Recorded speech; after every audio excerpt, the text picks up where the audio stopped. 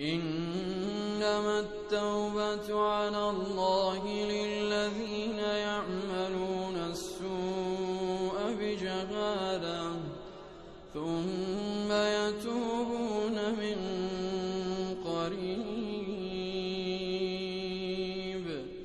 فأولئك يتوب الله وكان الله عليما حكيما.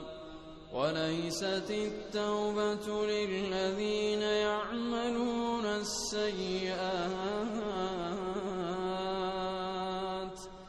حتى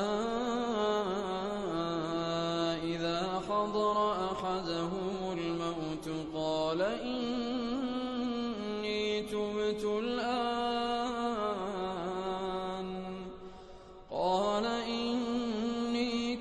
تبت الآن ولا الذين يموتون وهم كفار. أولئك أعتدنا لهم عذابا